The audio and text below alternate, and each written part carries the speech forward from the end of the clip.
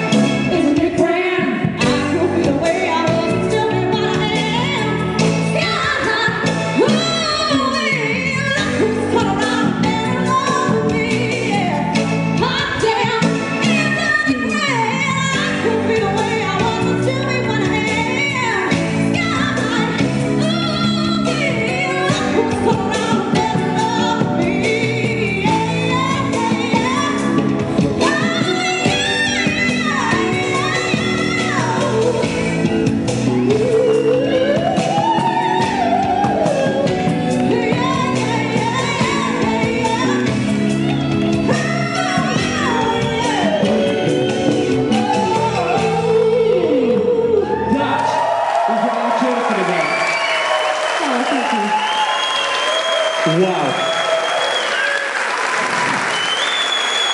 If you don't get that, get out. Wow. Okay, let's do the next one. This is Gladys Knight, believe it or not.